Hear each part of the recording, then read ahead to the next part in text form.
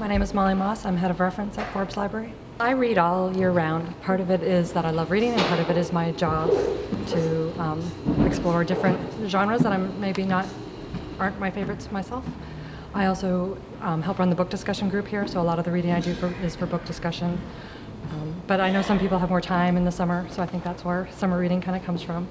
I always like reading books in different series. I'm a big mystery reader, so I read uh, and Justice There Is None by Deborah Crombie. It's like number eight in her series.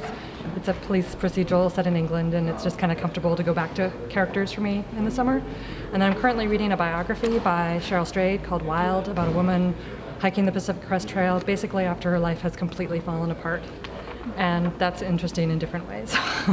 for someone who isn't a big reader, I think that you should look for whatever interests you.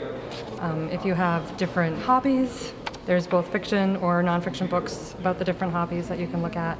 Um, also, if you are really tired, like I know when if you are a new mom or if you just are exhausted because of working, um, something that you can read in little snippets is sometimes good, um, like short stories where you can just read 10 pages and be done and then start again the next time instead of having to remember where you were. We actually have a reading list available on our website where you can fill it out and we will give you a personalized reading list with 10 or so choices that are just for you.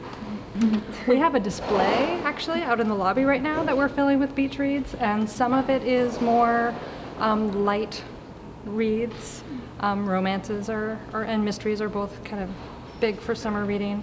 Um, I know also though people try to take the summertime to go back and read something that they've been meaning to, like a classic title that they have been meaning to read there's you know the New York Times bestseller list. People are always trying, you know, just if there's something that everybody's talking about, that's always a good thing to read during the summer, so you can be part of the conversation. I actually read one for our book discussion group um, that I hadn't read. That is 40 or 50 years old, um, Dispossessed by Ursula Le Guin, and she was just such a big, important author in the latter part of last century But I'm glad I finally read that one.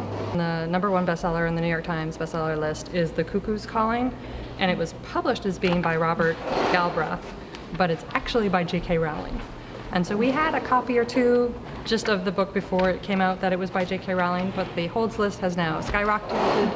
It's out of print. They're republishing it so that we can get more copies, and it's got a huge waiting list. At the library this summer, we are doing summer reading for adults and teens. Um, we have weekly raffle drawings, and then we're gonna have big end of the summer prize drawings. And basically, you just need to read or listen to three books. You need to write us a brief blurb about one of them, so that we can find out what great things everybody else is reading. And you bring this back to the reference desk. But we also are happy to answer questions by email or in person, on the phone, if anybody wants any ideas for summer reading, or for reading any time of the year.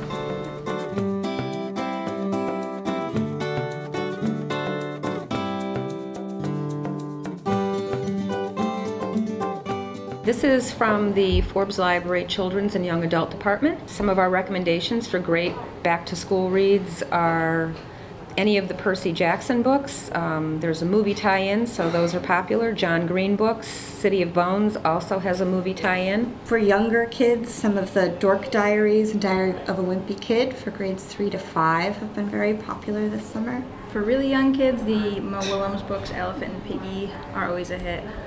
as well as the Eric Carle books.